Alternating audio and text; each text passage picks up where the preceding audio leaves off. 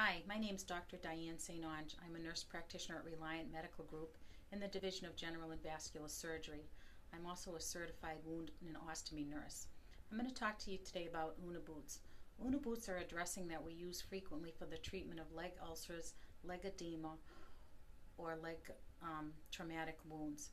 They are applied in the office and they are applied beginning at the base of the toes and extend all the way up to the knees. That's why we call them a boot. The first layer is usually a treatment layer, the second layer is a dry layer, and the third layer is a compression layer. The Unna boots are changed once a week, but sometimes they may need to be changed more frequently, especially if you're having a lot of drainage.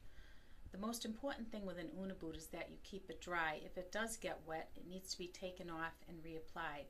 We can also have Unna boots applied at home with the visiting nurses with follow-up in the office every few weeks or monthly. I often get referrals from physicians within the medical group and I'm, my office is located at 123 Summer Street in Worcester and I would be happy to see you and or answer any questions. Thank you.